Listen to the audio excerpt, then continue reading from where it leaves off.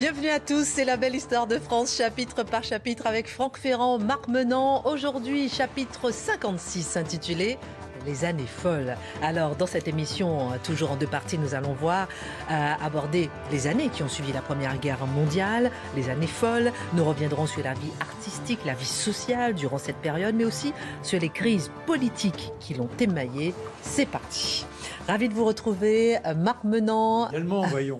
Franck Ferrand. Pour des années folles avec vous. Mais oui, alors là, j'arrive avec le sourire. Parce que Franck, la dernière fois, euh, on avait. Voilà, on avait. C'était moins souriant. C'était moins souriant. Ça a été difficile, c'était laborieux. Et là, on sent effectivement qu'avec les années folles, c'est tout. On a envie de. On voit que c'est une, volonté de rattraper le temps perdu. Il ne faut pas oublier qu'il y a quand même le traumatisme, le poids de tout ce qui s'est passé. Hein. C'est-à-dire qu'on est quand même dans des années, et ça va durer jusqu'à la fin des années 20, des années qui sont marquées par les monuments aux morts, les défilés d'anciens combattants partout et tout le temps, si je puis dire, les ossuaires qu'on installe, ces grands cimetières militaires. Il y a toute cette ambiance qui pèse et qui est vraiment euh, présente. Mais il n'y a pas que ça. On a d'un seul coup une envie de vivre de respirer, de changer de vie d'une certaine manière. C'est pas comparable du tout, mais pardonnez-moi, je vous interromps, mais je pense par exemple au confinement, lorsqu'on avait tous été confinés, le monde entier, et lorsqu'on a été, évidemment, c'est pas du tout comparable, gardée, toute proportion gardée, mais je veux dire que je peux, on peut peut-être imaginer un temps soit peu la volonté de vivre, c'est un peu ça. Nous vécu pendant deux jours après le premier confinement, euh, nos ancêtres, enfin nos aïeux, devrais-je dire plutôt, l'ont vécu pendant deux ans après la Première Guerre mondiale, et c'était normal, vous imaginez. Ça, a duré 15 ans, en fait. Euh, jusqu'à la, quasiment jusqu'à la crise financière de 1930. Vous savez qu'en France, elle arrive avec un an de retard par rapport aux États-Unis, vers 1930. Donc, de 1918 à 1930, on s'éclate, si vous me passez l'expression, même si ce n'était peut-être pas euh, celle de, de l'époque vous rappelez le traité de paix de Versailles le 28 juin 1919 Eh bien, si vous regardez les unes des journaux de l'époque, vous vous rendrez compte qu'à côté de ce qui quand même fait le premier titre, La paix de Versailles, signé par M. Clémenceau et tous ses invités, certes, mais euh, vous avez aussi des colonnes entières consacrées à la réouverture de l'hippodrome de Longchamp. Vous voyez, il y a ouf, entre guillemets. on rouvre les casinos, on rouvre les, les cabarets partout, le music hall. C'est l'époque du music hall. C'est l'époque du jazz et du charleston. Les femmes se, euh, se coiffent euh, comme des garçons. Elles ont des, des robes de plus en plus courtes qui montent largement au-dessus du genou. On se trémousse, on danse, on fume, hommes et femmes on boit beaucoup aussi, ça c'est pas pour. Euh, beaucoup de choses me plaisent dans l'époque, mais c'est vrai que pas ça. ça. Du jazz, des automobiles, vous voyez, il y a toute cette dimension. Alors sur un plan politique, ben, sur un plan politique, il s'est passé une chose assez, enfin pas étonnante, mais incroyable, deux choses étonnantes. Novembre 1919, l'élection, euh, les élections législatives qui envoient à la Chambre une majorité très conservatrice quasiment aussi conservatrice que l'avait été celle de 1815 qu'on appelait la Chambre introuvable. Vous savez, c'est le bloc national qui remporte les deux tiers des sièges. Vous avez une chambre dont on dit qu'elle est bleu horizon, pour faire référence à, la capote des poilus quelques, mois plus tôt. Elle est bleu horizon, c'est vrai qu'elle est entièrement, de, pas entièrement, mais largement à droite, cette chambre. En 1920, on va élire un nouveau président de la République. Évidemment, tout le monde pense que c'est le père La Victoire qui va être élu, Clémenceau. Eh bien non, le 17 janvier 1920, ce n'est pas Clémenceau qui est élu, c'est euh, Paul Deschanel qui va avoir des petits problèmes dans les temps qui suivent. Savez que Paul Deschanel a fait une sorte de burn-out à l'Élysée. il est tombé du train présidentiel en allant un jour à, Montbrison et tout ça a fait qu'on a voulu le faire passer pour fou. Mais c'est les amis de Clémenceau qui le faisaient passer pour fou parce que justement, ils étaient outrés que le père La Victoire ait été d'une certaine manière exclu du jeu politique. Au revoir, Monsieur Clémenceau. Qui sont les grands hommes de cette époque que, nous allons revivre maintenant? C'est euh, Poincaré, qui était président de la République et qui, très paradoxalement, va mener, après la présidence, une véritable carrière politique en tant à plusieurs reprises que président du Conseil, et puis son grand adversaire en face du conservateur Lorrain Poincaré, le socialiste nantais Aristide Briand, dont je vous parlerai euh, tout à l'heure. Tout ça dans une atmosphère de, de travail, de remise en route de toutes les industries, bien entendu, industrie chimique, industrie euh, déjà pétrolière à l'époque, un tout petit peu d'industrie plastique, c'est le tout début, industrie sidérurgique, bien sûr. Automobile aussi, car on va se mettre à fabriquer des voitures en série. Ça, c'est tout nouveau, vous imaginez. Et industrie aéronautique. Parce que s'il fallait garder de ces années un symbole, c'est l'aviation, bien entendu, et notamment l'aéropostale dont va nous parler Marc. L'aventure de l'aéropostale.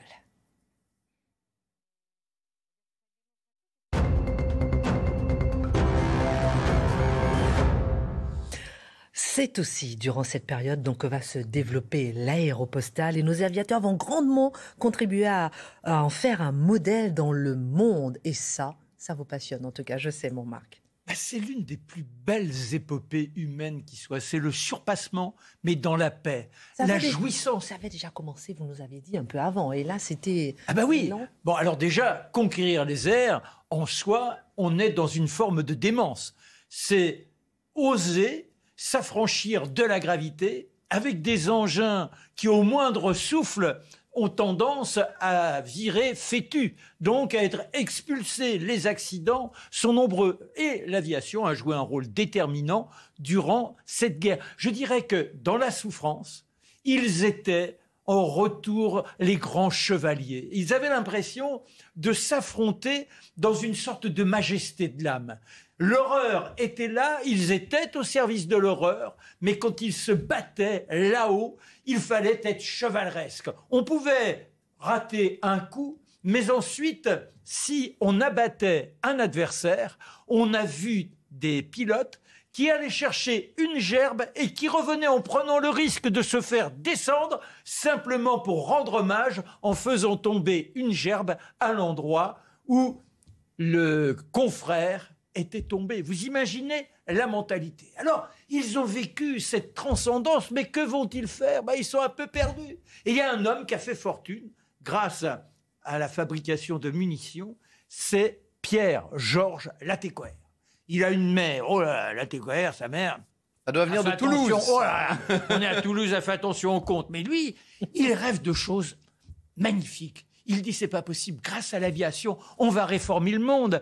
Il faut que maintenant la planète devienne une sorte de grand village. Que grâce à l'avion, eh bien, au lieu d'attendre des semaines avant de savoir ce qui se passe à l'autre bout du globe, il faut que ce soit pratiquement immédiat. Il faut qu'il y ait un courrier et un courrier qui serait porté par les avions. Et c'est comme ça qu'il se met en tête de créer la société Latécoère. Il lui faut des hommes. Alors il cherche, il cherche, il rencontre Didier Dora, un bougon.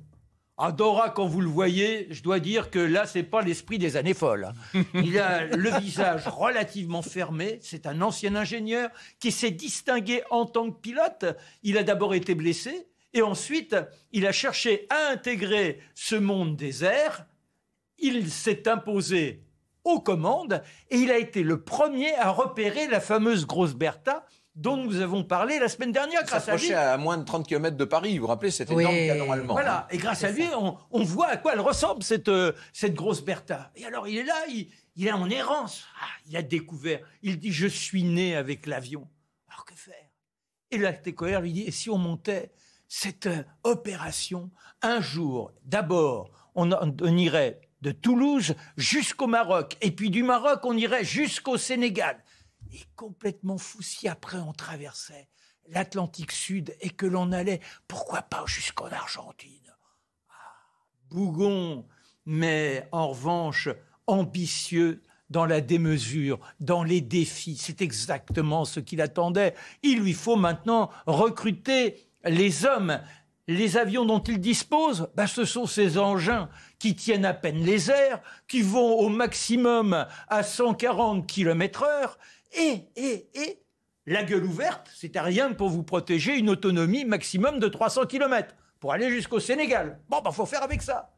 Le premier défi, c'est d'obtenir une concession, la concession du courrier, un courrier potentiel. Il faut convaincre qui? Le maréchal Lyotet. Le maréchal Lyotet, il est au Maroc avec son épouse.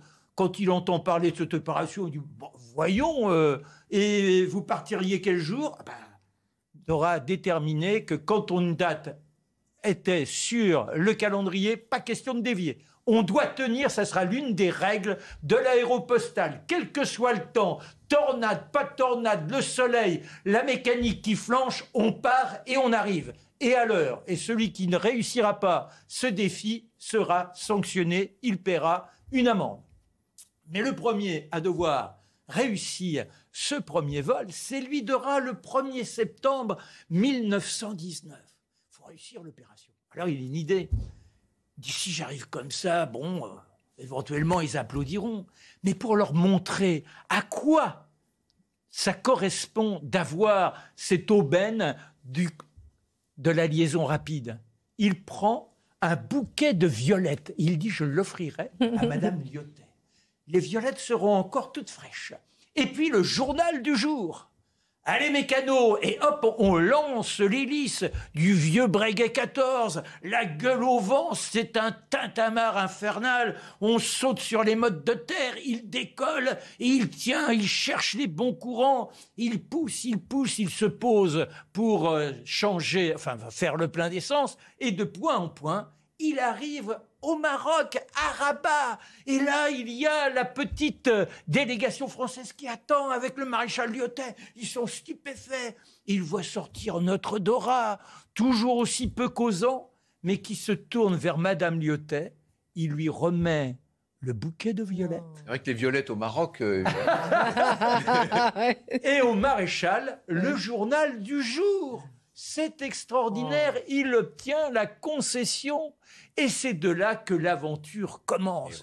Il va les recruter les uns derrière les autres. Ceux qui ont été dans la Grande Guerre et qui cherchent comme lui le parfum d'aventure. Les autres qui se disent qu'il y a quand même dans l'existence, grâce à cette technologie naissante, des vies qui doivent sortir de l'ordinaire. On est prêt à mourir pour cela. Il y aura parmi les premiers Émile l'écrivain. Avec son violon rouge c'est-à-dire que partout où il va, dans le cockpit, il a le violon rouge. Et le soir, avec les copains, on se laisse aller à quelques brins de musique et on guinche, comme à Paris. Et puis il y aura aussi Mermoz. Mais le premier à traverser le désert, c'est Émile l'écrivain. Vous imaginez? Avec cet avion tel que je vous l'ai décrit, les doubles ailes, la gueule au vent, l'hélice qui pétarade et qui de temps en temps, elle tousse. Vous n'avez rien pour vous orienter, c'est à vue que vous cherchez votre point de mire. Et puis, pas de radio, rien. Seul, seul face aux éléments qui sont là, qui vous prennent, qui de temps en temps copinent et puis après cherchent à vous trahir, la gueule au vent, sur le désert, avec ce soleil qui là aiguillonne la machine, qui cherche à étouffer le moteur et ce moteur qui, oui, s'époumonne, mais il tient, il cherche les courants, il cherche le bon endroit pour aller se poser et il réussira à gagner Saint-Louis. Sénégal. Un avion à Saint-Louis du Sénégal, ce sera la base qui permettra après de gagner l'Amérique du Sud. Là, on est en 1925 et parmi les premiers qui rejoindront Émile l'écrivain, il y aura Mermoz, le grand Mermoz. Mermoz qui avait d'abord fait, il, il était trop jeune pour s'inscrire ou participer à la Grande Guerre. Mais après la guerre, il a raté son baccalauréat, il est un peu trop timide, le grand. Mais il a trouvé sa voie en voyant les avions. Il s'est engagé, a connu la Syrie, et puis après, lorsqu'il a décidé de quitter l'armée parce que les avions, on ne lui proposait pas assez de vols, il attend à Paris, il sera clochard pendant un an, il est dans la décrépitude la plus totale, il envoie tous les jours, tous les jours, tous les jours des courriers, attendant une réponse. Et un jour, on lui dit, venez à Toulouse, vous ferez un essai et vous serez peut-être retenu.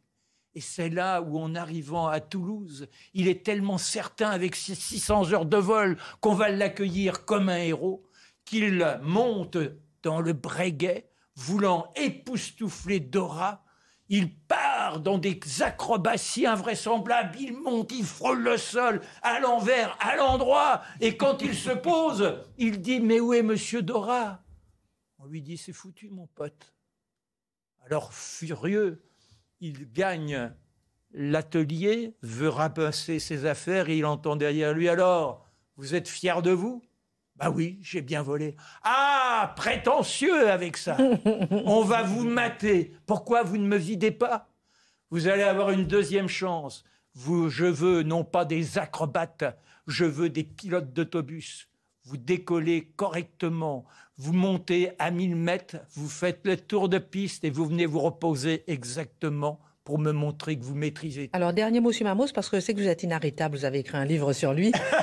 L'homme qui voulait croire en sa... préparer ce récit sur Mermoz. Ah oui, l'homme qui voulait croire en sa chance. Alors, un dernier mot. Euh, Mermoz sera l'homme qui va permettre tous les défis en mm. entraînant les autres derrière lui et toujours jusqu'à la mort. Jusqu'à la mort puisqu'il mourra dans l'Atlantique. Merci beaucoup pour ce récit. Ce que, ce que vous voulez toujours transmettre aussi avec euh, ces voyages dans le ciel, etc., c'est le dépassement de soi. Voilà. Et c'est vrai que voilà, ça représente aussi les années la fraternité, rien la fraternité. Alors on va voir comment à Paris, on s'envole pas, mais on s'amuse. on décolle. On décolle. Alors Franck, après euh, l'horreur de la guerre, les Parisiens s'amusent. C'est le cas. On dit les Parisiens. Les Français. Les Français. En général. Alors peut-être pas. Non, mais parce que je l'ai parlé des les, villes, les ballets russes, c'est à Paris ah, quand bah, même. Les ballets russes, c'est à Paris. À Monaco aussi. Ah N'oubliez pas Cannes, Biarritz, Deauville, qui sont les trois grandes villes. Ce sont les Russes blancs. Ce sont ceux qui ont fui les bolcheviks. Eh les bolcheviks qui sont au pouvoir depuis 1917. Alors euh, quand euh, la compagnie de Serge de Diaghilev est arrivée à Paris dès 1909. hein. voilà. Mais c'est vrai que de toute façon, elle avait bien l'intention de ne pas trop rester. Euh, on avait le souvenir de la révolution de 1905, etc. Donc ça faisait partie. Vous savez, les Russes ont émigré par euh, vagues successives. Et c'est vrai que Diaghilev et ses danseurs ont complètement ébloui Paris. Mais ça, c'était encore à l'époque, le Paris de la belle époque. On était avant la Première Guerre mondiale. Pendant la guerre, il y a eu des moments extraordinaires. Le célèbre prélude à l'après-midi d'un faune avec Nijinsky, fabuleux danseur Nijinsky, bien entendu, qui a mis Paris en, en révolution. Et puis, et puis la Pavlova, etc., etc. Et puis, euh, après la guerre, les ballets russes vont se couper. Alors là, à partir de 1917, on peut dire qu'ils se sont coupés véritablement de la Russie, puisque la Russie est devenue bolchevique, etc. Les ballets vont être de plus en plus à Monte-Carlo. Ils vont aussi faire des tournées euh, aux États-Unis. Et on va entrer dans une espèce d'avant-garde, en fait. Et dès la guerre, d'ailleurs, on avait eu des représentations comme la représentation de Parade, vous savez, quand même extraordinaire, Parade puisque tous les artistes qui participaient à un ballet comme celui-là étaient des artistes d'avant-garde, bien sûr. Euh, le Sacre du Printemps, avant même la guerre. Et puis alors, après la guerre, donc une volonté de, quelque part, de tout déplacer, de tout faire bouger. C'est vrai qu'on s'amuse. Voilà. C'est vrai qu'on s'amuse à Deauville, à, Biarritz, à Cannes, à Paris et ailleurs, et à, Monte-Carlo, bien sûr. Euh, c'est vrai qu'il y a du champagne qui coule à flot et qu'on danse volontiers le jazz, mais sur des airs de, jazz et qu'il y a cette, cette, musique qui vient d'Amérique. N'oubliez pas l'arrivée 1925. Alors là, ça c'est la bombe atomique. C'est carrément 1925, ce qu'on appelle la revue nègre au théâtre des Champs-Élysées avec une, c'est pas même pas une meneuse de revue, c'est la danseuse principale, c'est Joséphine, Joséphine Baker, qui va fasciner Paris avec, bon, on a raconté ça des milliers de fois, hein, avec euh, sa petite, euh, sa petite euh, ceinture, de, banane, évidemment. Elle est intégralement nue, mais c'est je dirais que c'est la vogue de l'instant. On avait oublié ce détail. on voit qu'il ne vous a pas échappé. Oh que non Je sens que Marc aurait bien aimé parler de ça aussi. Oui, c'est vrai. Mais, mais pourquoi vous, vous, soulignez tout ça? Parce que c'est euh, un état d'esprit. Mais oui, c'est tout un état d'esprit. Une soif d'autre chose, une soif d'ailleurs aussi, une soif de casser les codes, pardon. Oui, on veut casser les codes, on veut les repousser. Alors, il faudrait entrer dans tous les détails de l'art. On en, on en reparlera peut-être tout à l'heure de la peinture, etc. Avec euh, l'inspiration de l'art africain qui va entrer, j'allais dire, euh, par réfraction dans mmh. l'art occidental. C'est vrai ce que je dis de, de la peinture, de la musique, de la danse, mais c'est vrai aussi dans tous les domaines, y compris les arts décoratifs, on en dira ça aussi un mot tout à l'heure. Bref, une efflorescence, une explosion, une volonté de tout bouger, avec en même temps, il faut jamais l'oublier parce que ça reste quand même prégnant, une société qui, elle, reste une société relativement classique et traditionnelle. C'est-à-dire que ce n'est pas parce que on s'amuse dans les grandes villes où il y a beaucoup d'argent et beaucoup de jeunesse que dans la, vie quotidienne, les Français se sont tous jetés d'un seul coup dans le cabaret. Hein. Et c'est le monde du sport aussi. C'est-à-dire que avant, jamais on n'avait imaginé ça. Il y avait le Tour de France dont les premiers tours de roue sont en 1903. Mais là, vous allez avoir les Jeux Olympiques en 1924. Vous allez avoir la merveilleuse Suzanne Langlaine. On l'appelle la Giniski de la raquette, la divine. Et les mousquetaires bientôt. Les mousquetaires. Vous avez Georges Carpentier, le petit Georges, dès l'âge de 12 ans, petit point rageur, le premier champion du monde français en mi-lourd. Et tout ça est relayé, et ça c'est très important de le dire, est relayé par la radio. On a beaucoup parlé de la presse là depuis pas mal d'émissions maintenant, puisqu'on a vu à quel point les journaux à grand tirage faisaient l'opinion, bougeaient littéralement les consciences et faisaient se déplacer les lignes politiques. les lignes politiques. Mais à partir de ce début des années 1920, il y a ce nouveau média qui entre carrément dans les foyers. Alors à l'époque, c'est gros. Hein. Le, poste de TSF, je vous prie de croire que c'est pas une petite chose. Hein. C'est gros quasiment comme un buffet de salle à manger. Hein. D'ailleurs, souvent, c'est dans le salon ou la salle à manger. On s'installe en rond autour du poste pour écouter le feuilleton radiophonique ou pour écouter la retransmission du match, de l'événement, du couronnement de je ne sais quel monarque. C'est cette radio qui crachote encore un peu avec ses speakers qui ont une habitude. Ça crachote beaucoup, mais on entend un peu. C'était la magie, la magie du son. on donne des concerts à la radio, etc. C'est en train de modifier la vie des gens, ça. Parce qu'avant, qu'est-ce que vous faisiez quand vous aviez fini de dîner? Eh bien, chacun rentrait euh, monsieur allait à son bureau, madame allait à ses, à ses ouvrages, parce que c'était comme ça, on, avait vraiment des rôles très très euh, répartis à l'époque. Les enfants éventuellement euh, sortaient ensemble, et puis il y avait dans les campagnes les fameuses veillées où on racontait des histoires, où on jouait de la musique, etc. Bon. C'est là que Franck a commencé. C'est là qu'il a commencé à raconter des histoires dans les veillées des années que c'était sous Napoléon. Avec la radio, ça change un peu les choses, parce que les familles se mettent à rester à, à domicile pour entendre des concerts qui ont lieu de l'autre côté de l'Atlantique. Voyez Donc là, il y a quelque chose. Alors quand je dis de l'autre côté de l'Atlantique, par enregistrement. À l'époque, il n'y a pas encore, euh, évidemment, les, les, liaisons intercontinentales. Mais en tout cas, cette radio est en train de modifier le quotidien des gens avec une nouveauté aussi, parce que qui dit radio dit réclame, madame, réclame, monsieur. C'est le début de la publicité, et la publicité devient envahissante dans les années 1920, notamment les grandes peintures sur les façades des maisons. Alors, on va euh, marquer une pause avant la deuxième partie. Beaucoup de questions encore à vous poser au niveau politique. Comment vivaient les gens? Euh, Aristide Briand, qui était-il? Un personnage particulier? On en parlera dans la deuxième partie. Une question que je vous demanderai, que je poserai aussi, que se passe-t-il au congrès de Tours? On parle dans un instant, on marque une pause. À tout de suite.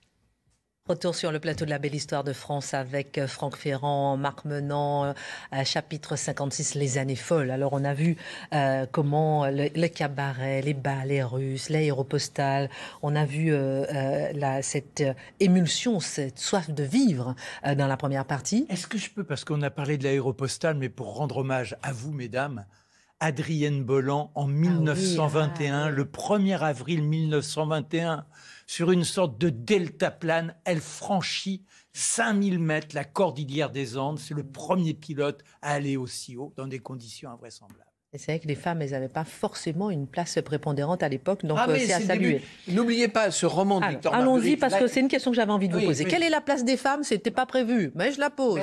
Quelle est la place des femmes dans ces années folles? Ah, bah, La guerre euh, a fait que les femmes se sont mises à travailler, euh, qu'elles ont acquis dans les familles une, place très prépondérante, qu'on les a vues partout dans les, dans les guichets des banques, enfin partout.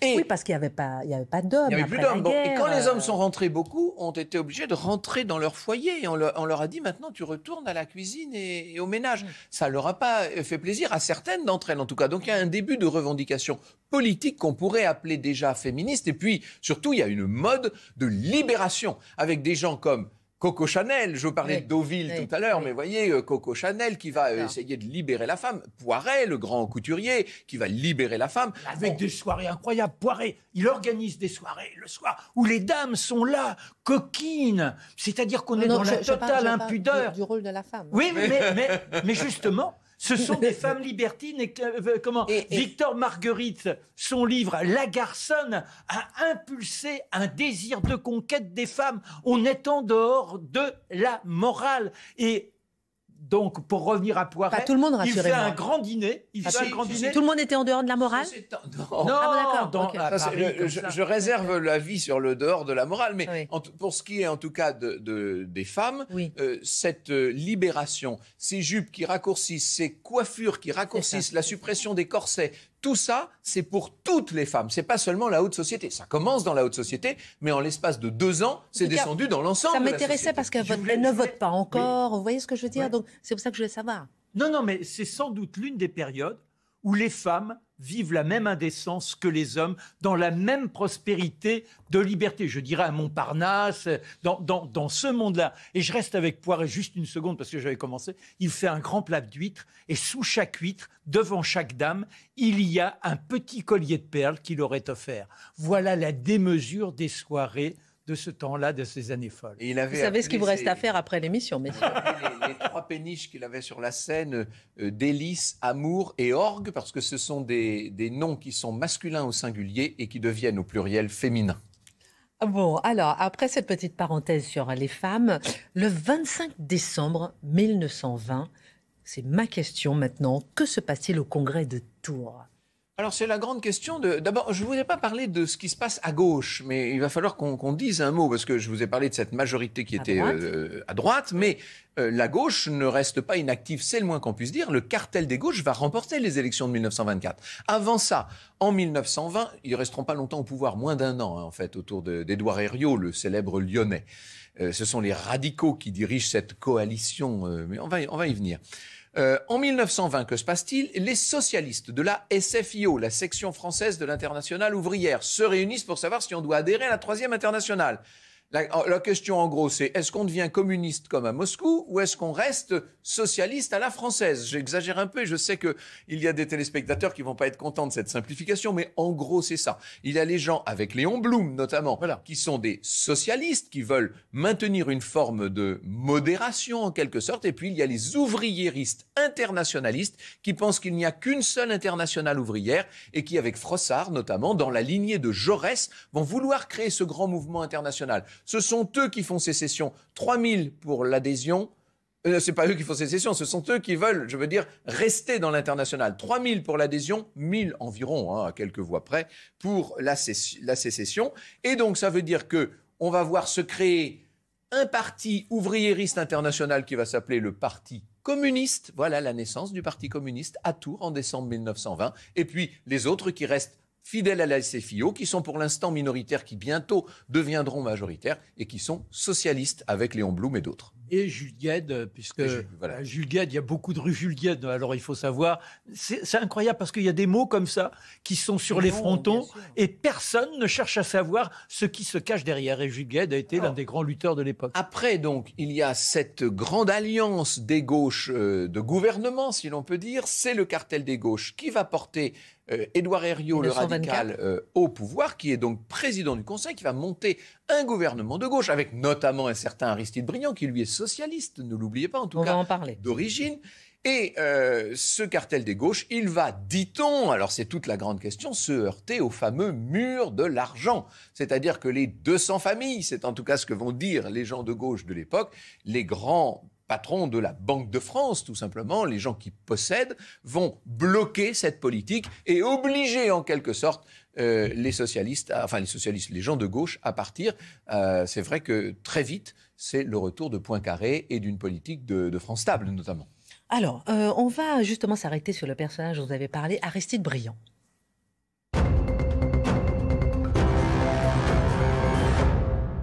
Voilà donc l'un des plus grands hommes de la Troisième République, Aristide Briand, qui a été 11 fois président Il du portait Conseil. bien son nom. Oui, et, et facile puis à retenir. 22 fois ministre. Alors, mais Aristide Briand aura été l'homme le plus brillant de la Troisième République. Je artiste et brillant. On peut lui reprocher quelques mollesses au moment de la loi de 1900. Personne n'est parfait.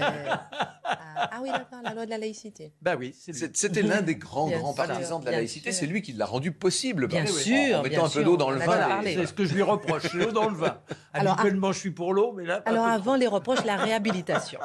Alors c'était un fils d'aubergiste nantais, un milieu tout à fait modeste, mais qui très tôt, dès qu'il est sur les bancs de l'école primaire, je vais faire Marc Menon 5 minutes là. Oui, absolument. très tôt va euh, manifester une, intelligence, mais absolument hors du commun. Là, quand on parle de surdoué, vous savez, c'est vraiment ce qu'on appelle le surdoué, le gamin qui, alors on lui, on, essaie de le coller, on lui apprend des récitations, hop, il lit une fois, il laisse par cœur. On, essaie de, faire la même chose en latin, hop, c'est la même chose en latin. Il va apprendre le grec. Il est dans un milieu très modeste où tout ça n'est pas très fréquent, bien entendu. Il va faire son droit. Euh, évidemment, il peut pas imaginer un enfant aussi intelligent dans une grande famille. Il serait immédiatement Là, bien sûr, étant donné les circonstances, il va faire son droit, il devient clerc de notaire à Saint-Nazaire, hein, dans, sa région, dans sa Loire-Atlantique notale. On, on, disait Loire inférieure à l'époque, évidemment. Euh, et puis quand même, euh, devenu euh, donc clerc à, Saint-Nazaire, il se dit je vais faire l'examen du barreau. Ça coûte rien, ça. si un petit peu, mais pas grand-chose. Et je serai avocat. Et effectivement, il devient avocat. c'est là qu'il rencontre un personnage qui va jouer un rôle important dans sa vie, qui s'appelle Fernand Pelloutier. C'est lui qui va lui donner sa conscience politique. Pour l'instant, Briand n'est pas dans ce genre de considération, mais l'autre est un anarcho-syndicaliste extrêmement virulent qui, qui, voit que ce gamin est un réussit tout. Réussit tout. Donc il se dit, il nous le faut, quoi. Bon, et il va le, convertir, si l'on peut dire. En vérité, euh, je vais aller un peu vite, hein, mais Aristide s'installe assez vite euh, à côté de Paris, à Anguin faut dire que, alors ça, ça, heureusement que c'est pas Marc qui raconte, parce que là, on n'aurait pas fini. il, il trousse beaucoup de jupons, euh, euh, notre, Aristide Briand. Vous, êtes prié euh, Oui, non, c'est non, non, non, non, de Franck, je ne pas empiéter. Donc, il est au bord du lac d'Anguin, il trousse du, du jupon, mais il, il comment dit-on, il joue du bouchon également, parce qu'il est tout le temps à la pêche. Il ah adore, c'est sa passion, hein, il est à la pêche, donc dans le lac d'Anguin, ailleurs, sur les différentes rivières de la région parisienne. Et puis, il aime beaucoup écrire aussi et il a un don pour euh, saisir les ridicules, pour tourner. Il fait, il fait ce qu'on appelle de l'édito, comme nous dirions nous aujourd'hui, vous savez. Et dans un journal qui s'appelle La Lanterne, il va bientôt se faire connaître. Et quand je dis connaître, il devient une célébrité. Avez-vous lu le billet de brillant dans La Lanterne? Vous voyez, c'est ça qu'on commence à se dire. On est encore là, on est à la belle époque, on est en 1900, c'est pour ça qu'il faut que j'avance pour aller jusqu'aux années folles. Grand séducteur, il sera notamment l'amant de la célèbre Marie Bonaparte, vous savez, de la grande famille Bonaparte, qui a été l'élève préféré de Freud, hein, qui a sauvé euh, Freud au moment, bien plus tard, euh, à la fin des années 1930, au moment où Freud va fuir euh, l'Autriche devenue nazie après l'Anschluss. il, il admire infiniment Jaurès, c'est pour Jaurès qu'il devient lui-même socialiste, c'est l'époque des grands débats. On dit, nous, sur la laïcité, c'est bien gentil. La vérité, c'est que c'est de l'anticléricalisme pur et simple et qu'on veut la séparation de l'Église et de l'État. Il va prendre sa part de ces débats, etc. Il acceptera dans le ministère radical de Sarien le portefeuille de l'instruction. Dit comme ça, on se dit pourquoi pas, mais sauf qu'il est socialiste, lui. Donc, quand je dis qu'il met de l'eau dans son vin, vous voyez, il n'aura de cesse quasiment toute sa vie d'aller de plus en plus en plus vers le centre, pour pas dire même un peu vers la droite, à vrai dire. C'est un languissement, la, la vie politique d'Aristide Briand, très mondain par ailleurs, on le voit beaucoup, avenue Hoche je passe sous les fenêtres, moi, très souvent. Euh, chez Madame de Caillavet, c'est le grand salon, il faut être vu à l'époque, aussi bien pour les. Pour les On dirait que Marc Menant y est passé.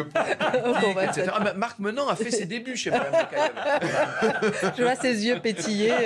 Donc il était avenue Hoche. Vous voyez quand même que notre, euh, notre Aristide Briand, il a été 26 fois ministre et 11 fois président du Conseil. Ah, j'avais hein compté 22 fois. 26. Donc ça vous donne un peu, ça vous donne une idée hein, de, de, de l'ampleur de la carrière politique de cet homme qui quand même est à la tête euh, du gouvernement, euh. donc de la France, parce qu'à l'époque, on est soit troisième, c'est un régime parlementaire, hein, donc c'est le président du Conseil qui dirige. Mm. Il est à la tête du gouvernement d'octobre 1915 jusqu'à euh, au début de 1917, c'est-à-dire que toute l'année 1916, on a parlé l'autre jour de, de, Verdun, vous savez, ben, le patron de la France pendant Verdun, c'est Aristide Briand, vous voyez, donc c'est un rôle très important. C'est lui qui va lancer l'offensive à Salonique, d'ailleurs, qui sera certes pas un grand succès, mais bon. Et après la guerre, et alors là, ça c'est très intéressant, après la guerre, il devient l'un des deux grands hommes politiques français.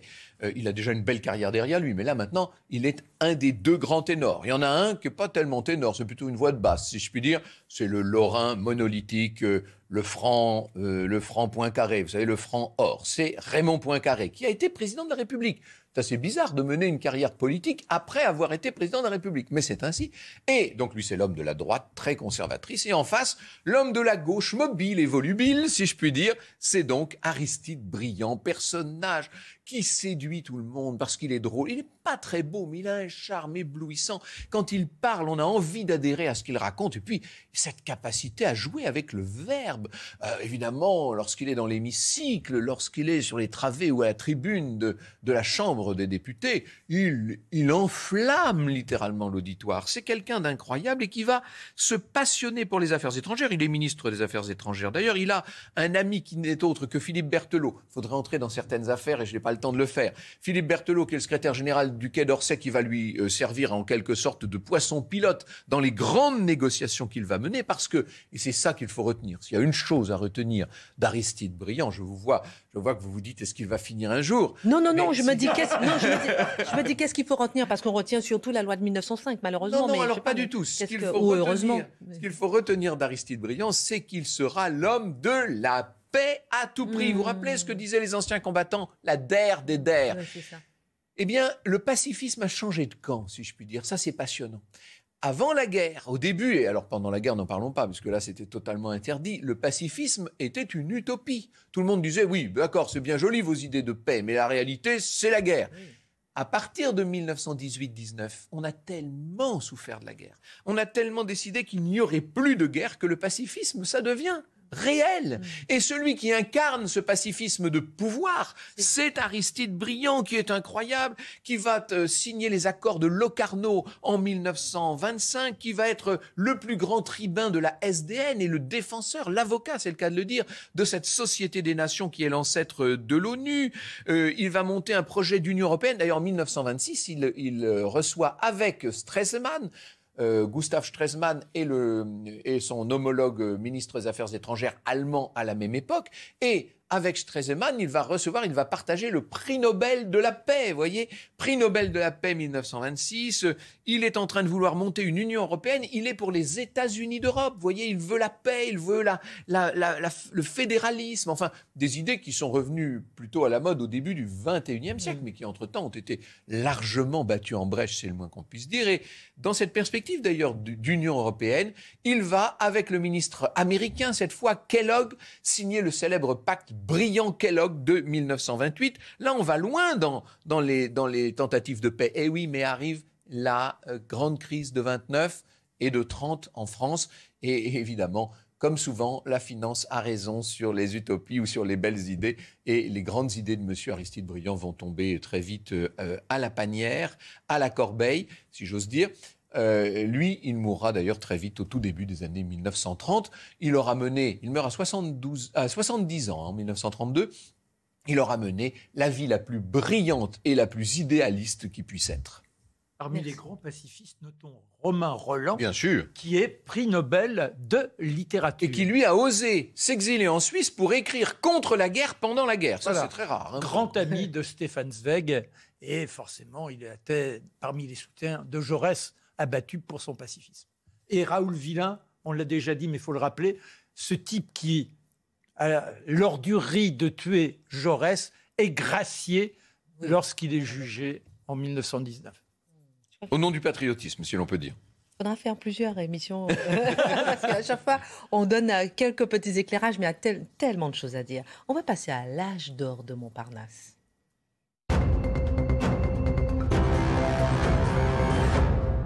Puisque durant cette période, de nombreux mouvements vont voir le jour, euh, des mouvements euh, qui vont pouvoir s'épanouir après les terribles années euh, vécues avec la guerre en France, c'est notamment le cas du surréalisme. Alors ça, c'est passionnant, parce que le père du surréalisme, c'est André Breton. J'ai pas le temps de tout vous raconter sur Breton. Sachez simplement, c'est un fils de gendarme avec une mère, c'est Madame la Morale.